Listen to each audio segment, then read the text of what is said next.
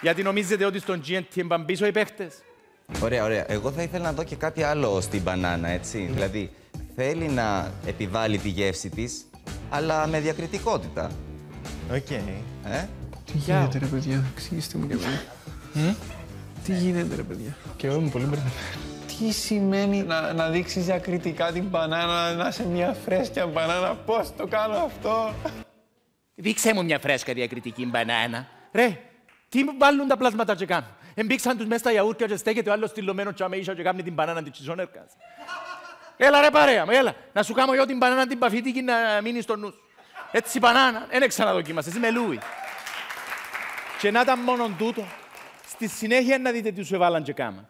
Θέλω να κάνεις το άχαρο και αυστηρό και σοβαρό στάχι, έτσι. Οκ.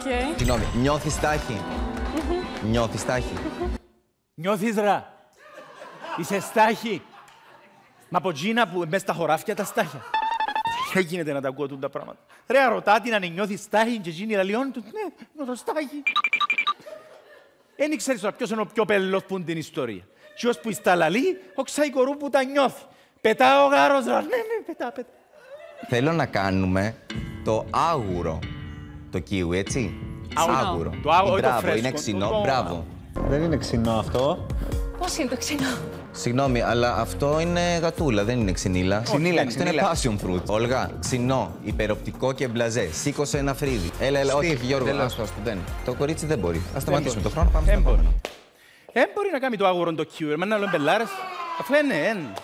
Ήταν ολόφρεσκα από πάνω σκάτ. Ε. Άντε κουκλίτσα μου πήγαινε σπίτι, για άλλα πυρί που δάμε που έτσι μου τα φάσει η ηλίκια. Δεν μπορείς να μου κάνεις το άγουρο το κιούρ και να μου γίνει μοντέλο.